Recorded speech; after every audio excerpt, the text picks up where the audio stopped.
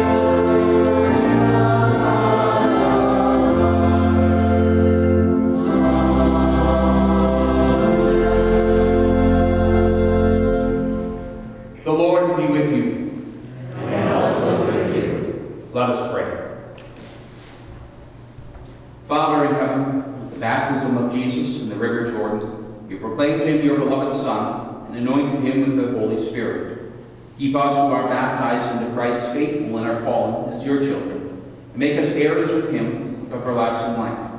Your Son, Jesus Christ, our Lord, who lives and reigns with you in the Holy Spirit, one God, now and forever. Amen. You may be seated.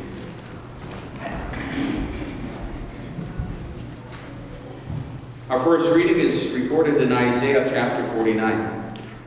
Listen to me, you islands Hear this, you distant nations. Before I was born, the Lord called me. In my mother's womb, he has spoken my name. He made my mouth like a sharpened sword. In the shadow of his hand, he hid me. He made me into a polished arrow and concealed me in his quiver. He said to me, You are my servant, Israel, in whom I will display my splendor. But I said, I have labored in vain. I spent my strength for nothing at all. Yet what is due me is in the Lord's hand and my reward is with my God. Now the Lord says, He who formed me in the womb be his servant, bring Jacob back to him, and gather Israel to himself. For I am honored in the eyes of the Lord. My God has been my strength. He says, It is too small a thing for you to be my servant, to restore the tribes of Jacob, and bring back those of Israel I have kept. I will also make you a light for the Gentiles, that my salvation may reach to the ends of the earth. The word of the Lord. Thanks be to God. Sing our song of the day, Song 82.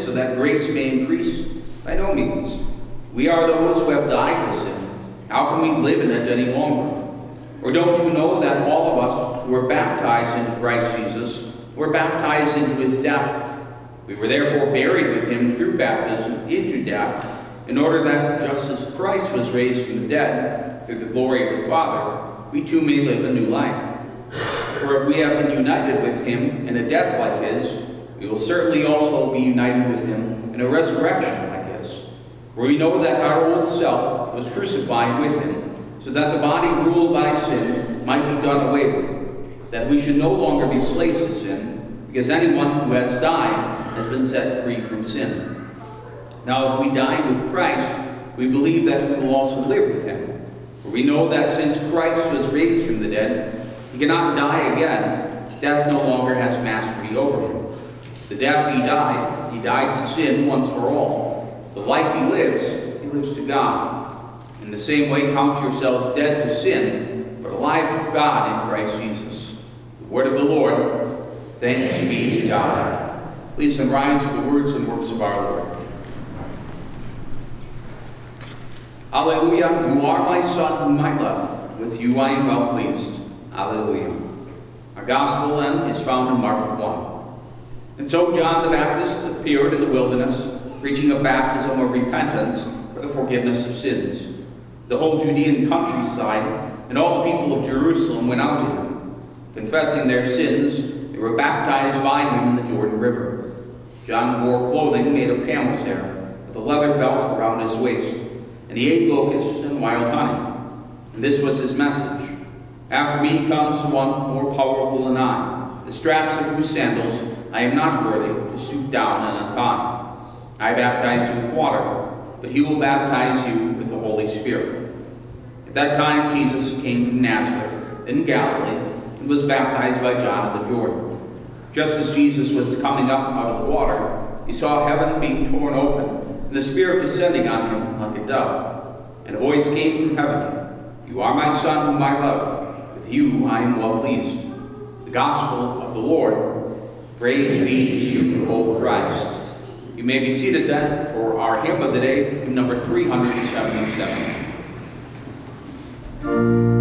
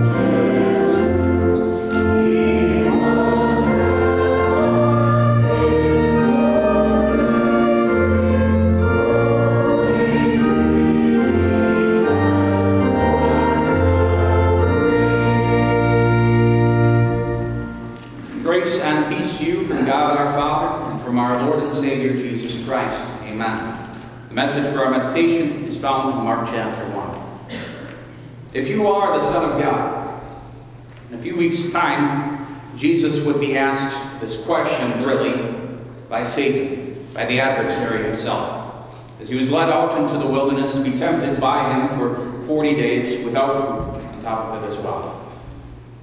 If you are, are you really Jesus? Him? It wasn't just Satan, though, that was asking this question. It was something that really came to him quite often, I would imagine. Many people recognized him clearly as, as Jesus, the, the son of Joseph. Not many, though, recognized him as Jesus, the Son of God Most High. Many would have recognized him of Jesus of Nazareth, not so much always Jesus of heaven. And being human, having humbled himself, taking those powers that are his by divine right, by eternity, and at least laying them aside or concealing them for a, a time. Jesus would have been able to suffer anything that we undergo, although remain without sin. And thus he would have also been able to be tempted. And so this was a real temptation that Satan would ask of him. It was a, a real temptation to doubt this, to doubt God, to doubt his Father, to doubt the Holy Spirit, to doubt the Son of God, yes, even he himself. Jesus, if you are that Son of God, Jesus can even take that next step towards the cross. This temptation of, of Satan may sound familiar to you, because it's one he, he likes to use quite often. It's one that he's used throughout the history of this world, going all the way back to when, when the Garden of Eden was there. He came to Eve and talked to her. For he asked her a question there as well. He asked her, Did God really say? And hidden within that, that question, there, there was something more to it. There was the idea, there was that question Are you sure you have a right relationship with God? Isn't he holding out on you, Eve, so that you could know evil on top of also knowing good? Satan has gotten good at that question over the. And he's asked it in different ways, different people and at different times. I, I know he's asked it all of you, and many times on over. If you are, are you really a son of God, a daughter of God? we take a look at that question and we wonder. He's looking at our sins. There's a whole lot of evidence that seems to say contrary. But that's why God gives to us baptism. And in our lesson today, God will use baptism to embolden us, to strengthen you, and to fight off the attacks of the evil one. John the Baptist was now on the scene. He had grown up, he had become a man, he was setting to doing the, the task that God had put in front of him, to go to baptize. And there in that baptism to also preach a, a, a baptism of repentance, giving to the people a message that they might be turned from their sins, from death, over to God and the love that he has there. And how much better that was for all. And as the people came in droves, what happened? But with that word and with that baptism, the Holy Spirit had the ammunition necessary to do his thing and to bring hearts to God, which is exactly what he was doing. So with John being faithful in his ministry, and this now going on for some time, it's time for the Lord to take the seat. For him to become that main character, so to speak, and for the focus and attention to be upon on Jesus. So Jesus came to John that he too might be baptized. This has always been an odd lesson it seems so weird to us that, that Jesus would come and, and, be baptized. in a lot of ways, it does not make a ton of sense. Because we have Jesus who is God, and so he is without sin. Does he have to get his sins removed? Then we have Jesus being baptized into his own name. He's the Son of God. Why would he have to be baptized into that name already when it's his? Well, to be sure, it wasn't because Jesus needed his, his sins forgiven. In eternity, Jesus had been perfect. And in the rest of eternity afterwards, he would remain perfect. Yes, he would be tempted, and, and yes, the devil would be there. But he would overcome just as he always had. He was able to do that. Jesus did not need his sins removed. That's not why he got, when he got baptized. Jesus did not also go to, to get baptized in order that he might take on divinity, that he might become God. There's been that thought down through the years that maybe that's what's going on here. But that's not what was going on here already. Jesus had always been God. And if we ever doubt that at this very moment, even though when his Godhead was concealed, that, that he, he was not God, we, can turn to John's words from, from our lesson. John said, After me comes one more powerful than I, the straps of whose sandals I am not worthy to stoop down and untie. I baptize you with water, but he will baptize you with the Holy Spirit. It was not that Jesus would be more powerful than John, nor was it that Jesus would be in a position where, where John shouldn't stoop down and untie his sandals. No, Jesus already was his God. Jesus was already more powerful than John. Jesus was already in a position where, where, where John shouldn't have been able to go ahead and do this even most menial of tasks, lowest of low jobs for him, because Jesus was the Lord. So if not that Jesus had to get baptized to remove his sins and not to become God, what, what exactly was going on here? If you remember, something was different now. In eternity, Jesus had been God. That had not changed. But 30 years prior, something did. Jesus, that second person of the Trinity, the very Son of God, took upon himself a nature that was not his own by eternity. That happened at his conception. There at his conception, he took on flesh. He became a human being just as all of us are, are human beings. And at that moment of conception as well, what did Jesus do?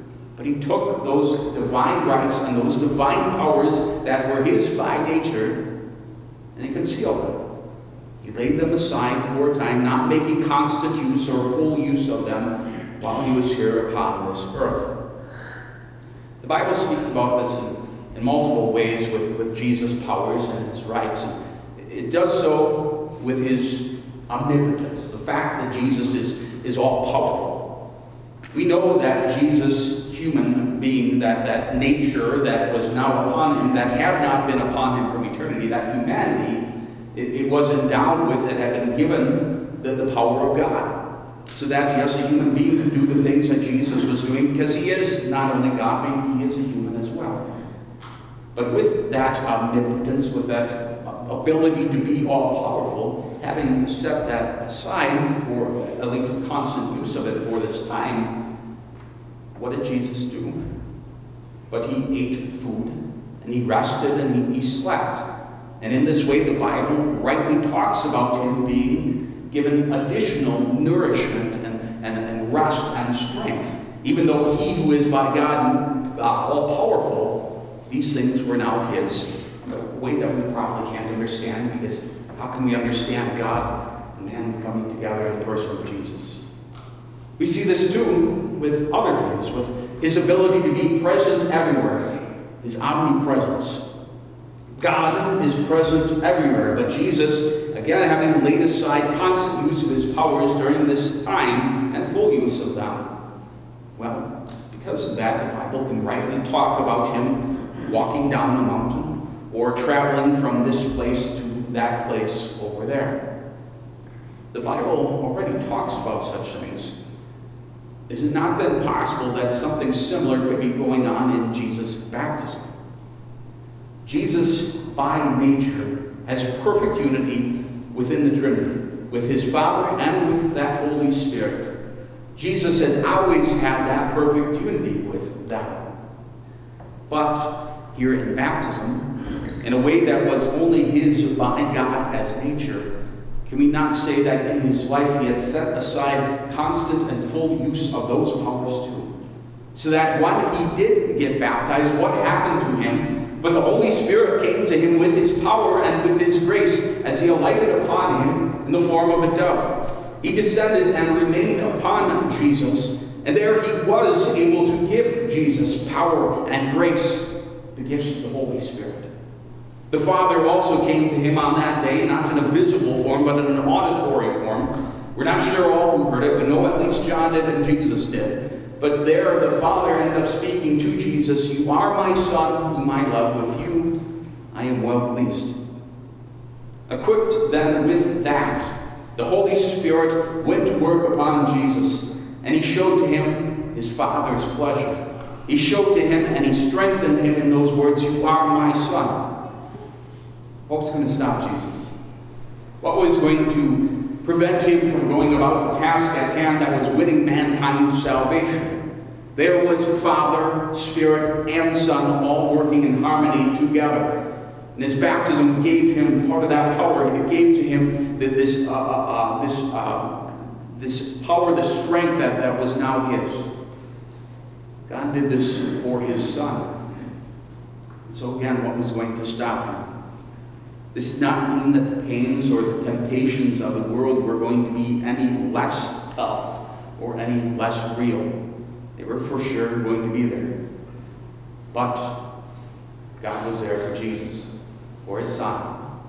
And the Spirit now who had come to Jesus and had remained upon him, led him out in the power of that Spirit, out into the wilderness, where there he was tempted by the devil for 40 days.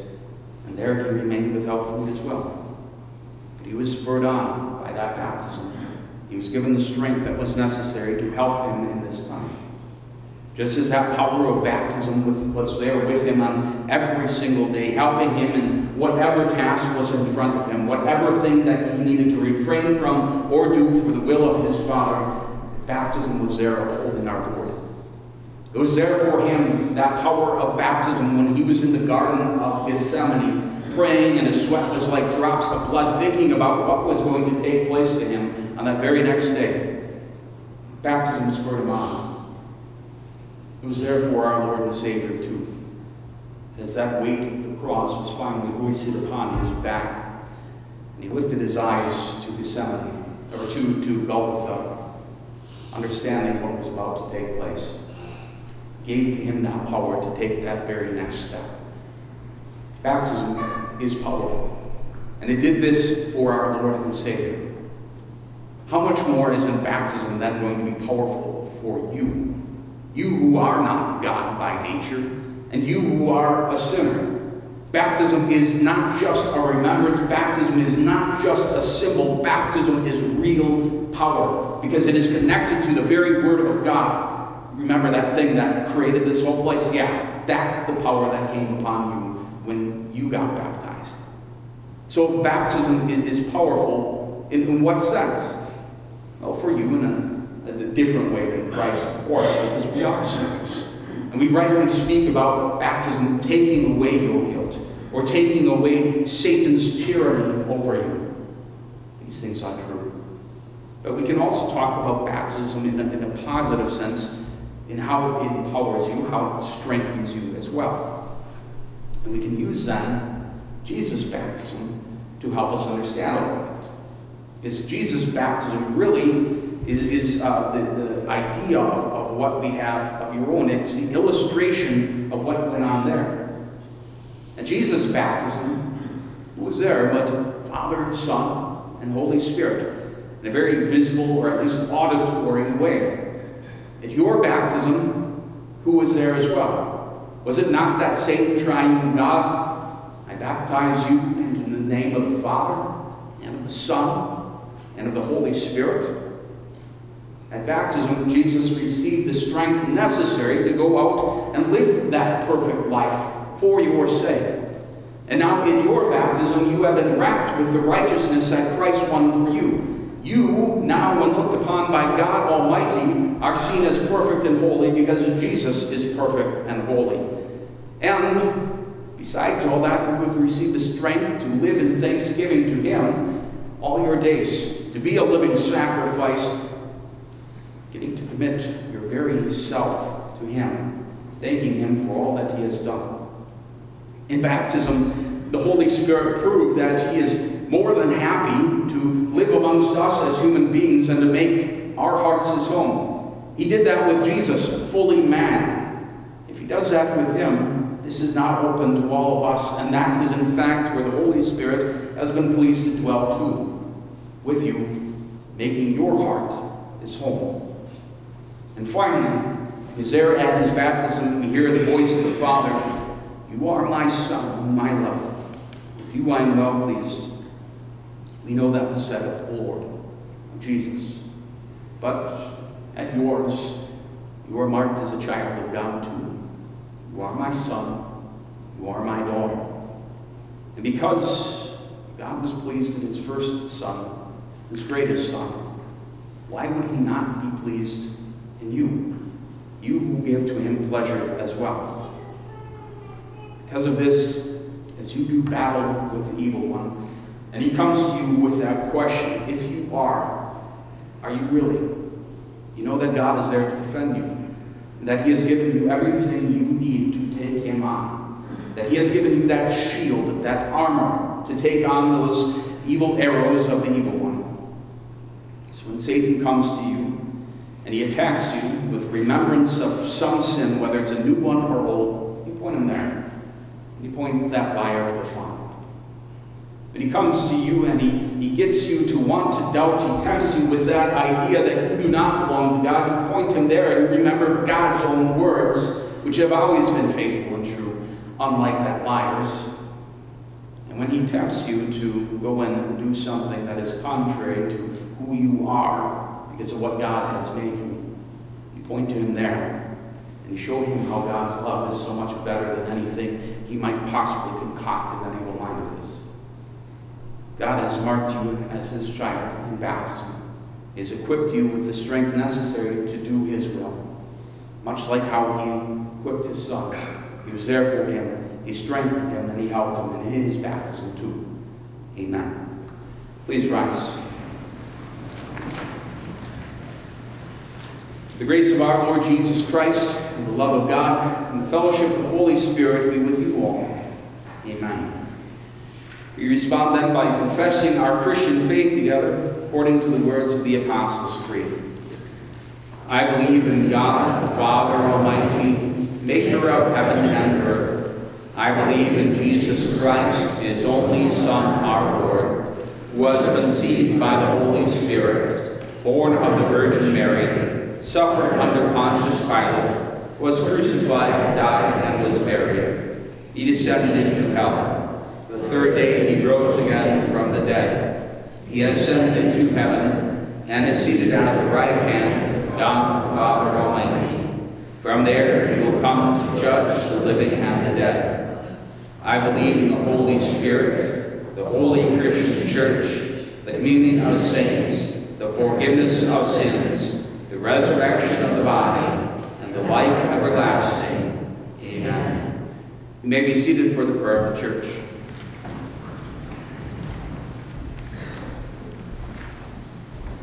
In our prayers today, we pray for Justin Pilkington, who is going to undergo a, a difficult section of his training in the Marines. Almighty God and Father, we thank you for all your mercies, especially for the gift of your Son, through whom you have revealed your gracious will. We praise you for the Holy Spirit that is working through the means of grace. Plant your word in our hearts and cause it to produce fruit in our lives.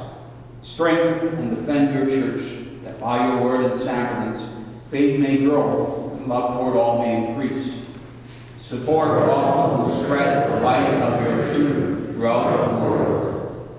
Keep our children in the grace of their baptisms, and enable their parents to train them in lives of faith. We thank you for the enthusiasm and unique perspectives that adolescents provide in our homes and communities. Help us to value young people, encourage them with patience, Provide them with Christian mentors to help them make godly decisions and strengthen their faith despite the challenges from the world around them. Give them increasing wisdom and trust in you as they prepare for independence. Instill in them zeal for sharing their Savior in words and actions. Raise up Christians to serve you in the ministry of the Word and in all godly walks of life. Lord God, we come to you on behalf of Justin Pilkington, be with him during this difficult section of his trend in the Marines. allow him to trust in you in all things, including in this, and give to him that strength that he has received in his baptism to go out and, and allow others to see Jesus through him. Preserve our nation in justice and honor. Guide and bless all who make, administer, and judge our laws. Give them the wisdom that they may promote justice and hinder evil. Let your blessing rest on planting and harvest, commerce and industry, medicine and science, the arts and culture. Protect all who travel and care for those whose work is difficult or dangerous. Be with all who devote themselves to any useful task. Comfort all who are in sorrow or need, sickness or adversity. Remember those who suffer persecution for the faith. Have mercy on those for whom death draws near. Grant them your love, and take them into your tender care. Hear us, Lord, as we pray in silence.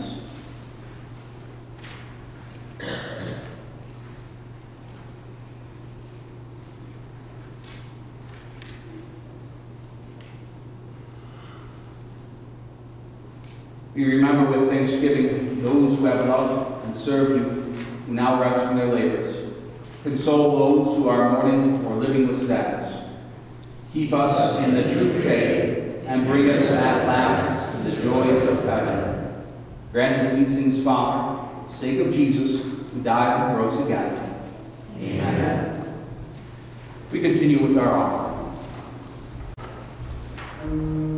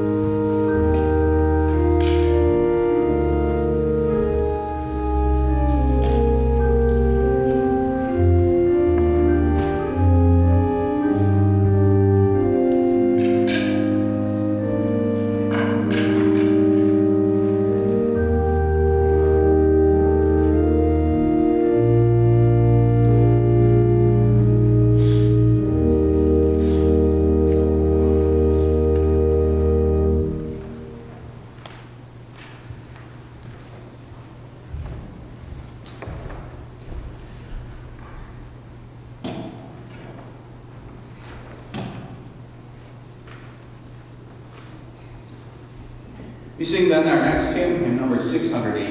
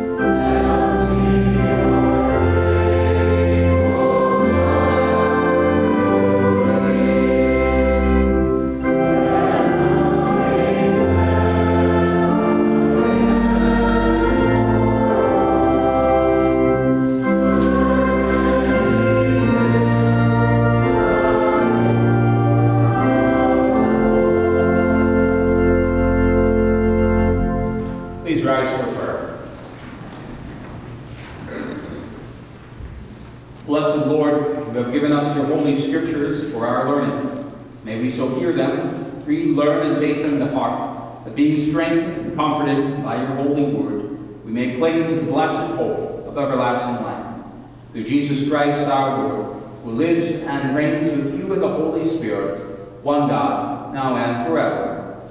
Amen. We pray. Our Father in heaven, hallowed be your name. Your kingdom come, your will be done, on earth as in heaven. Give us today our daily bread. Forgive us our sins, as we forgive those who sin against us. Lead us not into temptation, but deliver us from evil. For the kingdom, power, and the glory are yours, now and forever. Amen. Receive then the blessing of your Lord. The Lord bless you and keep you. The Lord make his face shine on you and be gracious to you. The Lord look on you with favor and give you peace. Amen. Amen. You may be seated for our closing hymn, in number 904.